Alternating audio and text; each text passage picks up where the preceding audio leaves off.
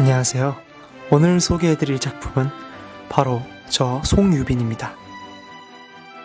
이 작품은 98년 4월 28일에 만들어진 작품으로 우수에 찬 눈, 황금 성대, 수려한 미소까지 가진 작품입니다.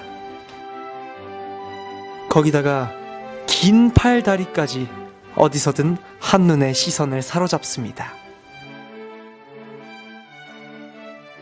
이 작품은 대구에서 만들어져 더위에 무척 강하다고 하는데요.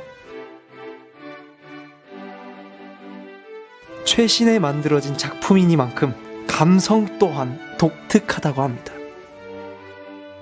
여러분의 마음 속에 길이 남을 작품 송유빈이었습니다. 안녕.